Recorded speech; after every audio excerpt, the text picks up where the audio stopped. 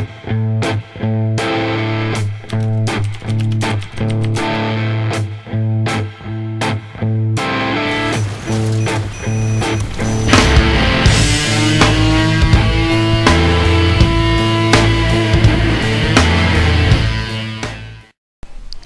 guys, UGX Treminaor here with a quick update for those of you who were wanting to know or hear more about the upcoming UGX mod and UGX Comosea.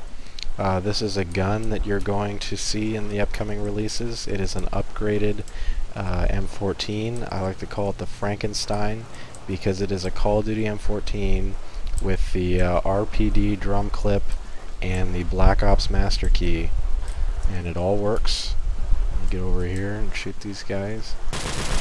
It's full auto. Master key attachment works. Clip works correctly. Just like that. There'll be more to come. Stay tuned, guys.